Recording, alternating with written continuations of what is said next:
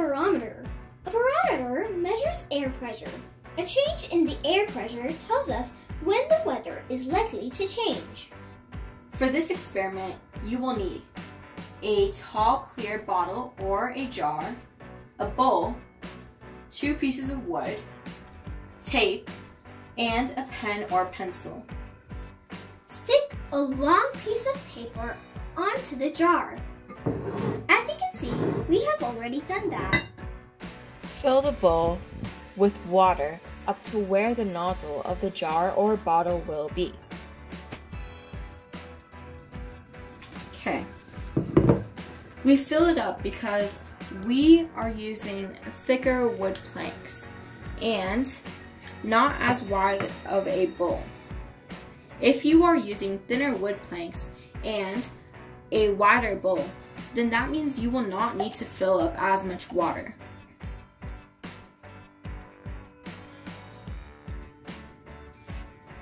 Fill the bottle or jar with water.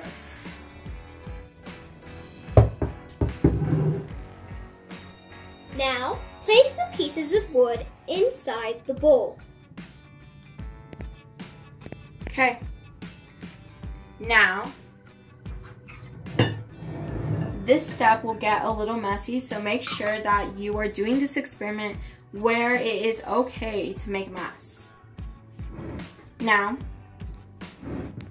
cover the lid, cover the jar, make sure that nothing's really leaking, okay?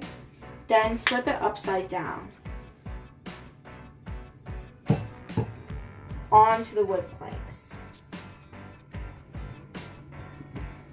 The reason for putting the wood planks is that we need water to flow in and out of the bottle.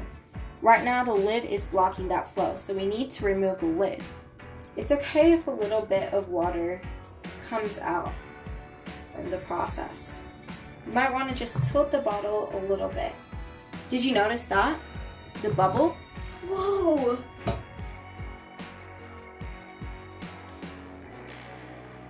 Cool. Now, see, water can flow in and out of the jar. All right, and water is here too, so it starts balancing it out. And then this right here is our water level. Wow!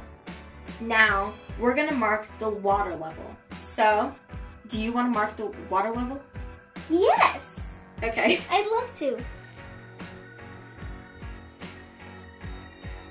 You should keep track of the barometer and carefully mark the level of water at regular intervals. Can you predict the weather with your barometer? When the air pressure increases, it pushes down on the water in the dish or bowl, forcing the water up the bottle or jar.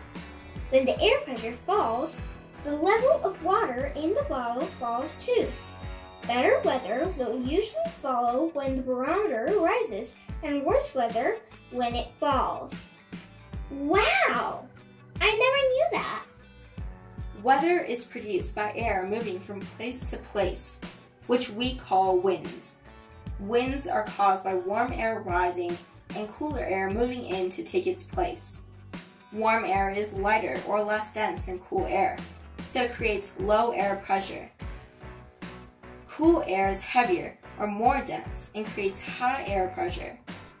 Usually, we have fine weather when the air pressure is high. Low air pressure brings clouds, rain, or snow. So, this is our barometer after a week. The water level, the regular water level that we marked at the beginning of the video was like right here.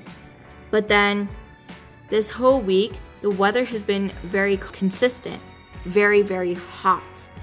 So you can see right here, there are just slight changes in water, except that one time when it rained. So right here.